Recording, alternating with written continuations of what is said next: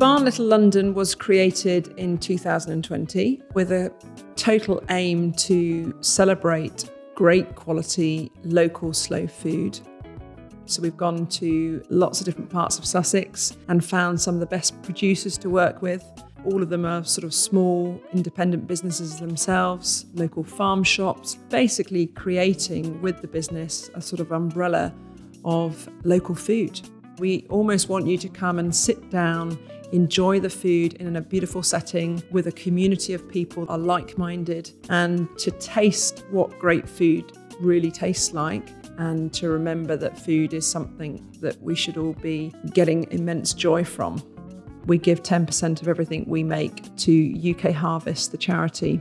We do everything that a supermarket does, but we are absolutely obsessed with provenance and being transparent about where the products come from and how great it is.